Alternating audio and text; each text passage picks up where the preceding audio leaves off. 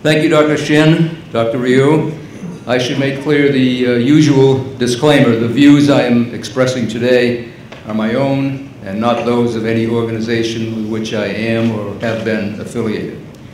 Uh, with a new American president, political turmoil in South Korea, and the usual insanity in Pyongyang, it is time for those of us who pay attention to what is happening in North Korea to start thinking outside the box. And we are in a box. Thanks to past political uh, mistakes. The people of North Korea are trapped in a national prison, subjected to terrible humanitarian abuses and deprivation by the cruel, deranged Kim family regime. And the rest of us are subjected to the mounting danger from North Korea's escalating nuclear weapons ballistic missiles programs, and now we have evidence of a strong chemical uh, weapons program as well. Concerns and attitudes in the West have hardened over the years, even before the U.S. election brought the Trump administration to power. In his book on China, Henry Kissinger described the ominous gravity of North Korea's nuclear program in stark terms. Quote, the spread of these weapons into hands not restrained by the historical and political considerations of the major states augurs a world of devastation and human loss without precedent, even in our age of genocidal killings. Unquote. Pyongyang's expanded ability to threaten its neighbors and even the United States has grown with its development of longer-range ballistic missiles. That, together with the ongoing mass abuse of virtually the entire North Korean population, has convinced international public opinion that something must be done. But what? Some have recommended a return to the negotiating table. but Kissinger wrote in 2009, quote, it is time to face realities. This is the 15th year which the United States has sought to end North Korea's nuclear program through negotiations. These have been conducted in two-party talks and six-party forums. The result was the same, whatever the framework. If this pattern persists, diplomacy will turn into a means of legitimizing proliferation rather than arresting it, unquote. Since then, seven more years have passed, and the North Korean threat has only grown more dramatically. As Kissinger said, the West's response has had the effect of legitimizing proliferation rather than arresting it. And Pyongyang is now in a far stronger position to bargain. There remain only two alternatives to remedy the intolerable suffering of the Korean people and the mass devastation danger to the world. Either A, the regime must be compelled by external and internal pressure to change its behavior, or B, the regime itself must be changed by external and internal pressure. Both courses of action involve significant risks, particularly the option of regime change. Critical to both is the role of China, North Korea's only ally and indispensable sponsor. The Kim regime simply could not last long without the massive infusion of food, fuel, and cash from China nor could it survive indefinitely absent China's diplomatic protection at the United Nations Security Council. Yet Beijing has consistently refused to apply its unique economic and diplomatic pressure to compel Pyongyang to cooperate.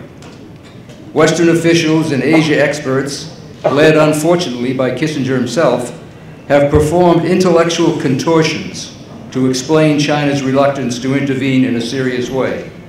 You can read more about that process in the handouts that uh, were outside and may be replaced. Worse still, China all along has been playing its own devious game, starting with its transfer of nuclear technology to North Korea through A.Q. Khan's Pakistan network in the mid-1980s and continuing over the years since then. As recently as 2012, Defense Secretary Leon Panetta told the Senate Intelligence Committee that China was supplying ballistic missile components to Pyongyang.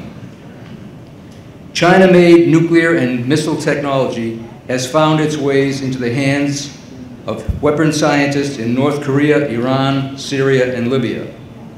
That makes China not only a leading proliferator of weapons of mass destruction, but a proliferator of proliferators. There is only one plausible explanation for China's failure to turn the screws on Pyongyang, indeed for its complicity in the regime's unlawful conduct. It is simply this.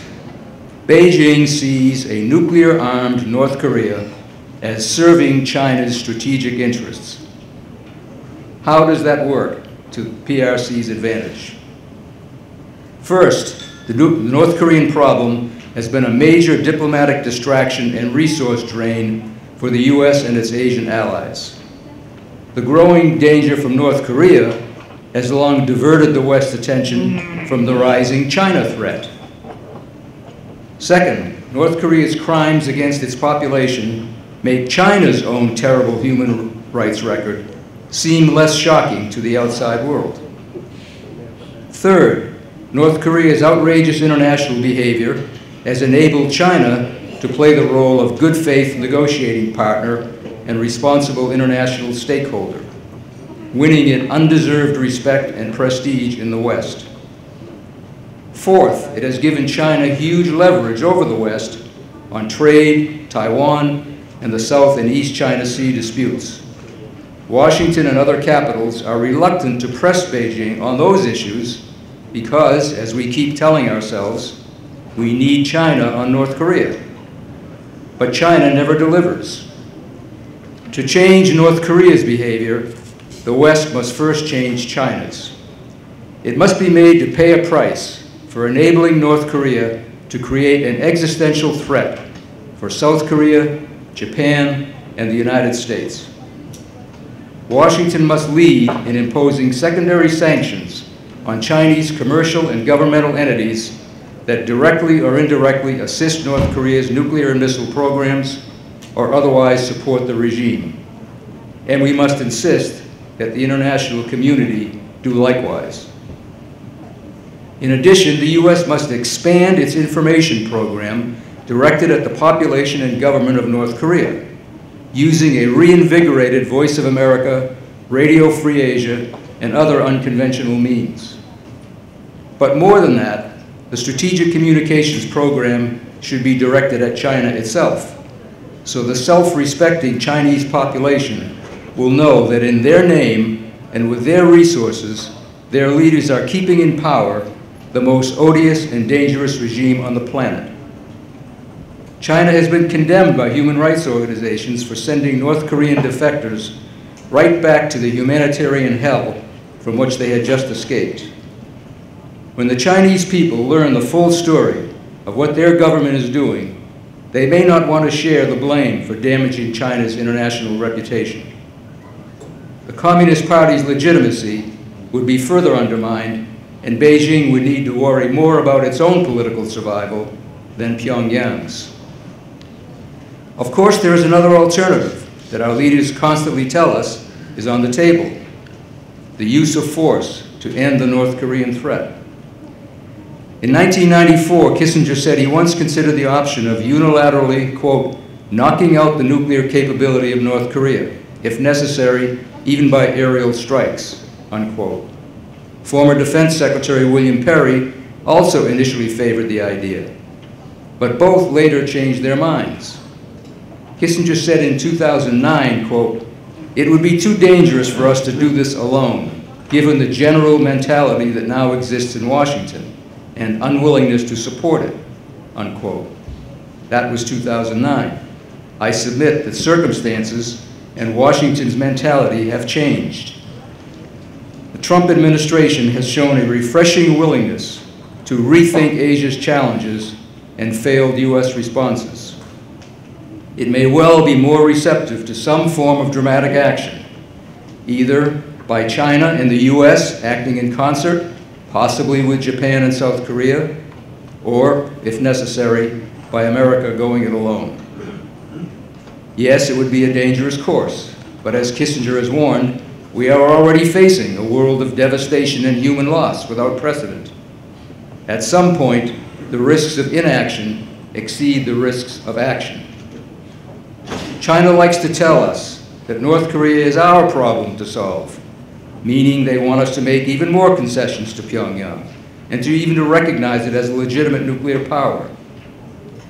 While the option of using force is certainly not the most desirable course of action, if Beijing believed the U.S. was seriously considering it, it might be more inclined to meet its own responsibilities to resolve the issue. That would serve the interests of all countries in the region and ultimately that of all the Korean people.